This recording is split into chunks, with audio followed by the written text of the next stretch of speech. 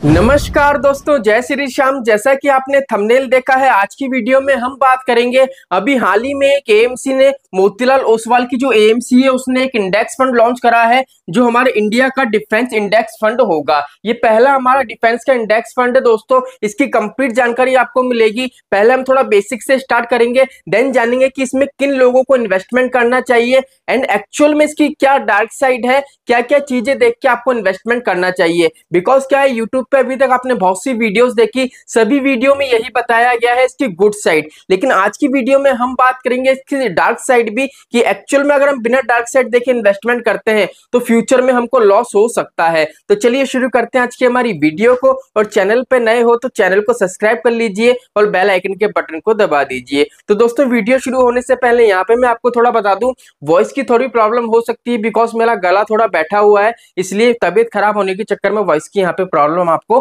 Face करने पड़ सकती है। तो चलिए थोड़ा बेसिक से स्टार्ट करते हैं। अगर हम बात करें दोस्तों लॉन्चिंग डेट की तो ये हमारा जो फंड लॉन्च हुआ था एनएफओ ये हुआ था हमारा तेरह जून 2024 को, ठीक है? एंड इसकी जो क्लोजिंग डेट है, वो है दोस्तों 24 जून 2024 की। यहाँ तक तो बेसिक सी क्लियर सी बात है दोस्तों, आप अपनी एप्लीकेशन भी ब्रोकर ऐप में इजीली देख सकते हो। लेकिन क्या है दोस्तों वीडियो में, एक ही वीडियो में अगर आपको कंप्लीट जानकारी मिल जाए तो ज़्यादा बेटर रहता है। इसलिए यहाँ पे कंप्लीट इन्फॉर्मेशन आपको देखने को मिलेगी। अगर हम इसके बात करें, अगर हम इसमें इन्वेस्टमेंट करते हैं तो यहाँ पे जो आपको इश्यू प्राइस मिलता है, वो क्या मिलता है? इश्यू प्राइस मिलता है दस रुपए का। अब ये इश्यू प्राइस क्या होता है? जब भी कोई एएमसी अपना नया फंड मार्केट में लॉन्च करती है तो वो जो फंड लॉन्च करती है, वो जिस वैल्यू पे अपना फंड लॉन्च करती है, वो वैल्यू वैल्यू पे नहीं करती है, वो करती है इश्यू प्राइस पे। ठीक है? मतलब कोई भी एएमसी मार्केट में जब अपना नया फंड लॉन्च करेगी तो स्टार्टिंग का उसका जो भी मूल्य रहता है, उसका क्या रहता है? इशू प्राइस रहता है,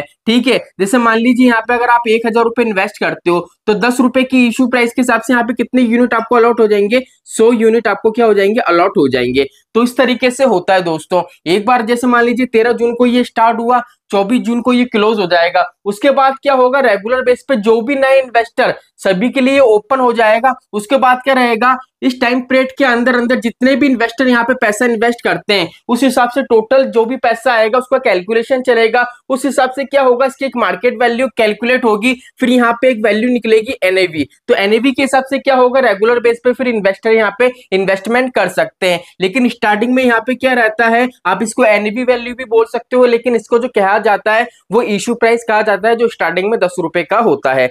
चलिए यहाँ तक के बारे में हमको पता था। अगर फंड मैनेजर की बात करें तो दोस्तों फंड मैनेजर दो हैं। और दोनों के बारे में बात करने की आवश्यकता नहीं है, क्योंकि दोनों की दोनों जो हमारे फंड मैनेजर हैं, वो काफ़ी एएमसी में अपना, उनको काफ़ी अनुभव भी और काफ़ी एएमसी में वो अपने फंड मैनेजर के रूप में काम कर रहे हैं। चलिए, यहाँ पे अगर हम एयूएम की बात करें एयूएम कैसे निकलेगा? जो मोतीलाल ओसवाल की हमारी जो एएमसी है, अगर हम इसका दोस्तों टोटल एयूएम देखें तो यहाँ पर टोटल एयूएम है इसका तिरपन करोड़ का।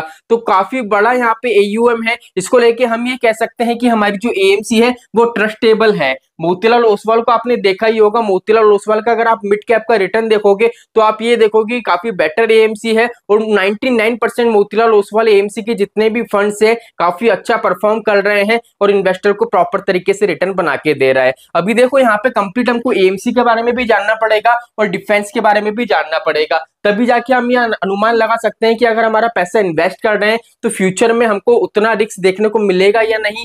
हमको बेटर कॉर्पर्स यहाँ पे मिलेगा या नहीं? चलिए यहाँ पे थोड़ा बेसिक मैंने बता दिया है। अगर यहाँ पे बेंचमार्क की बात करें दोस्तों तो यहाँ पे बेंचमार्क है Nifty India Defence Total Return Index अब यहाँ पे दोस्तों सिंपली देख लीजिए, कुछ मैं आपको थोड़े ग्राफ्स बताऊँगा, जिससे एक्चुअल में यहाँ पे कंसेप्ट आपका क्लियर हो सकेगा। अब यहाँ पे देख लीजिए निफ्टी इंडिया डिफेंस आई जो टी आर आई है, उसका यहाँ पे इंडेक्स आपको शो हो रहा होगा। यहाँ पे देख लीजिए, अगर हम बात करें दोस्तों 2021 की तो 60.9 परसेंट का रिटर्न है। 2022 की बात करें तो 66.8 परसेंट का रिटर्न है। अगर 2023 की बात करें तो 91.1 परसेंट का है और 2024 की बात करें तो 59 परसेंट का है। तो कहा जाता है कि दोस्तों, देख लीजिए, अगर डिफेंस की बात करें तो रेगुलर बेस पे है ना, ये क्या जा रहा है?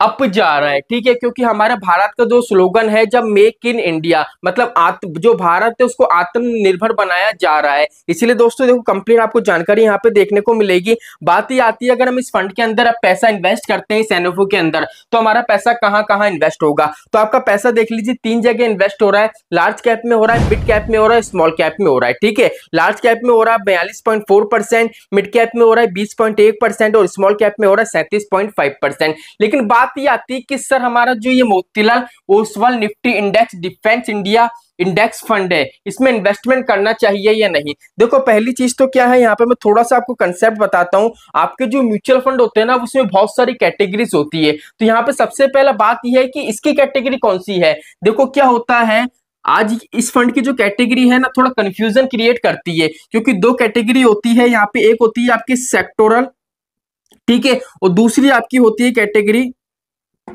थीमेटिक ठीक है?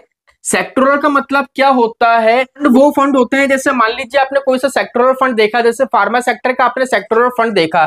सेक्टोरल का मतलब ये होता है कि किसी एक सेक्टर में आपका, किसी पर्टिकुलर एक सेक्टर में ही आपका पैसा इन्वेस्ट हो रहा है। जैसे मान लीजिए आपने कोई फार्मा का फंड देखा तो वहाँ पे देखोगे आप उसकी जो होल्डिंग रहेगी, जो भी उसके स्टॉक रहेंगे, वो सिर्फ़ फार्मा से रिलेटेड रहेंगे। बिकॉज़ क्या है? सेक्टोरल फंड है तो सिर्फ़ किसी एक ही पर्टिकुलर सेक्टर में इन्वेस्ट कर सकता है। लेकिन यहाँ पे हमारा जो ये मोतीलाल ओसवाल का जो ये इंडेक्स फंड है। ये कौन सा हमारा थीमेटिक फंड है? अब थीमेटिक का मतलब ये होता है, ये पर्टिकुलर किसी थीम पे वर्क करता है। अगर हम इस फंड में थीम की बात करें तो यहाँ पे हमारी जो थीम निकल के आ रही है वाली डिफेंस अब डिफेंस की जो थीम है डिफेंस के अंदर देश में क्या है? देश को आत्मनिर्भर बनाना है, देश की रक्षा के लिए दोस्तों, जितनी भी चीज़ें आएँगी मैन्युफैक्चरिंग को लेके, वो वहाँ पे क्या होगा? उन सभी सेक्टर में यहाँ पे इन्वेस्टमेंट आपको देखने को मिलेगा। उन सभी स्टॉक में आपको यहाँ पे इन्वेस्टमेंट देखने को मिलेगा। तो यहाँ पे कंप्लीट कौन कौन से स्टॉक है कंप्लीट यहाँ पे आपको मैं जानकारी बता देता हूँ। तो यहाँ पे क्या होगा दोस्तों? अगर आप अपना पैसा इन्वेस्ट करते हो तो आपका पैसा जो इन्वेस्ट होगा ना, वो टोटल आपके जो स्टॉक में पैसा इन्वेस्ट होगा, वो होगा पंद्रह स्टॉक के अंदर। अब पंद्रह जो स्टॉक है, पंद्रह में से दस की मैं आपको लिस्ट बता देता हूँ, जो अभी कंपनी ने एएमसी ने लॉन्च कर रखी है, सभी इन्वेस्टर को बता रखी है। बाकी जब ये फंड पब्लिक के लिए नॉर्मली ओपन हो जाएगा, जब कंप्लीट इसकी लिस्ट आ जाएगी, अभी के लिए जो दस इसके स्टॉक है, उसकी लिस्ट यहाँ पे सामने आपको शो हो रही होगी। अब यहाँ पे देखो मैं डार्क साइड की बात कर रहा था। अब डार्क साइड आप ये वाली बात सोचो। आज आप ये सोच रहे हो कि सर, अगर मैं मोतीलाल ओसवार का ये डिफेंस इंडेक्स फंड अगर इसमें इन्वेस्टमेंट करूँगा तो मुझे काफ़ी ज़्यादा बेनिफिट्स मिलेगा फ्यूचर में। क्योंकि क्या है डिफेंस का ये पहला हमारा एनएफओ है। इसमें अगर मैं इन्वेस्टमेंट करूँगा तो बेटर रिटर्न मुझे मिलेगा। क्यों मिलेगा? क्योंकि क्या है, यहाँ पे देख लीजिए मैं आपको एक स्लोगन और दिखाता हूँ जिससे आपका कंसेप्ट और क्लियर हो जाएगा। यहाँ पे देख लीजिए हमारे जो डिफेंस मिनिस्ट्री है, वो किसके हाथ में है? राजनाथ सिंह के हाथ में यहाँ पे देख लीजिए उन्होंने क्या कहा है, एक बार फिर से हम देश की सुरक्षा की ज़िम्मेदारी मिली है, हम देश की सुरक्षा और मजबूती के लिए काम करेंगे, हम देश को रक्षा के क्षेत्र में आत्मनिर्भर बनाना चाहते हैं। मतलब देश को आत्मनिर्भर बनाना चाहते हैं, इस वजह से क्या है दोस्तों, यहाँ पे क्या होगा? जितने भी दोस्तों आपने देखा हो डिफेंस पहली चीज़ तो डिफेंस का मतलब क्या होता है? डिफेंस का मतलब क्या होता है दोस्तों? जैसे मान लीजिए रक्षा, जैसे मान लीजिए किसी कंट्रीज़ वगैरह से युद्ध वगैरह होता है तो उसमें क्या होगा? जितने भी हमारे औज़ार वगैरह होते हैं, जितने भी हमारे जो टूल्स वगैरह होते हैं जिससे लड़ाई वगैरह करी जाती है, वो क्या करेंगे? हम खुद बनाएँगे। यहाँ पे देख लीजिए मैं आपको वापस से स्टॉक वाले पेज पे लेके जाता हूँ। ये देख लीजिए कंप्लीट दस स्टॉक आपको देखने को मिल रहे होंगे। अब यहाँ पे डार्क साइड आपको ये देखने को मिलेगी, अगर आप नॉर्मली इक्विटी के फंड में इन्वेस्टमेंट करते हो ठीक है? तो जैसे मान लीजिए हम बात करें निपॉन इंडिया स्मॉल कैप की तो उसकी जो होल्डिंग होगी वो 200 से ज़्यादा है। मतलब 200 से ज़्यादा स्टॉक्स में आपका पैसा इन्वेस्ट हो रहा है। लेकिन अगर हम बात करें इस वाले फंड की जो एनएफओ अभी लॉन्च हुआ है, यहाँ पे टोटल 15 स्टॉक के अंदर आपका पैसा इन्वेस्ट होगा। अब ये जो दोस्तों आपका पैसा इन्वेस्ट हो रहा है ना गवर्नमेंट के हिसाब से हो रहा है। देखो, पाँच, छह छह साल, अगर आपकी रिस्क लेने की कैपेबिलिटी अच्छी खासी है तो ही आप इस सेक्टर में, इस फंड के अंदर इन्वेस्टमेंट करो, जिससे क्या होगा? और अगर आपको लॉन्ग टर्म के लिए विजन है जैसे अगर आप चाह रहे हो मैं एक साल, दो साल, तीन साल के लिए इन्वेस्टमेंट करूँ तो ये फंड आपको बेटर रिटर्न नहीं बना के देगा। बिकॉज़ क्या है, यहाँ पे रिस्क आपको काफ़ी ज़्यादा देखने को मिलेगा। अगर आपका गोल है मुझे पाँच साल पाँच साल से प्लस के लिए इन्वेस्टमेंट करना है तो ही यहाँ पे आपको बेटर रिटर्न मिल सकता है। बिकॉज़ क्या है, यहाँ पे अगर हम देखें स्टॉक की संख्या काफ़ी कम है, ठीक है? अब यहाँ पे देख लीजिए, जो पंद्रह स्टॉक है, पंद्रह में से दस की लिस्ट यहाँ पे है। लेकिन यहाँ पे ये चीज़ देखो, जो ऊपर के आपके तीन स्टॉक है, उसमें कितना परसेंट इन्वेस्टमेंट है, देख लीजिए।